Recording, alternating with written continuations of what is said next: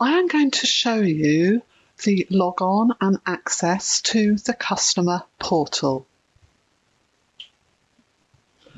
Firstly, do you need a new account? Here are some criteria.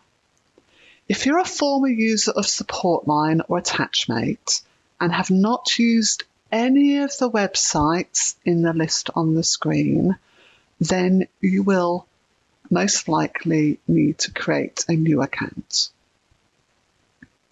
If you have used any of the websites listed below, then you will already have an account that you can log on to. I'm now going to assume that you do not have an account. Go to portal.microfocus.com. This will be your initial screen. In the top right, there is a login button. If you have previously logged into any of the websites that were on the previous screen, then you may at this point provide your username and password you have used before. If you are not sure, then please go to the forgot password. If you have got an account already, it will send you information with regards to that. If you don't, then it will similarly tell you that it does not know your account that you're trying to access. Here we are going to now create an account. Select create an account.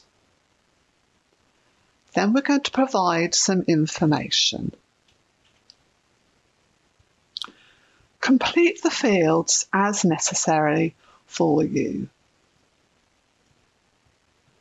Complete the necessary information and ensure you tick the agree of terms of service. This will then create your login.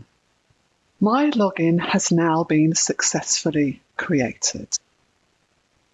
Let us now return to the portal. I can now log on with the account created as long as the delegated admin for the account has provided me access to the account and entitlements. I can provide the username and then I can choose to log on the portal. Please refer to the YouTube on delegated admin and user account control with regards to setting up a user privileges and refer to the YouTube on navigating the portal with regards to what you see in front of you here.